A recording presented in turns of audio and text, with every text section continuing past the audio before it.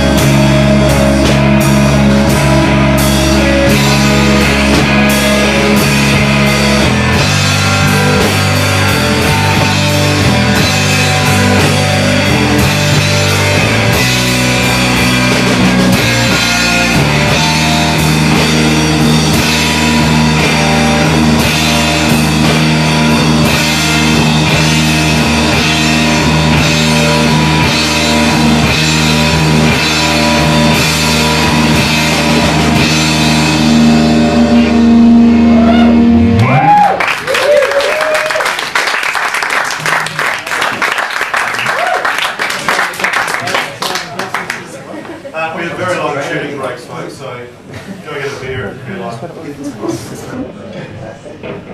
like.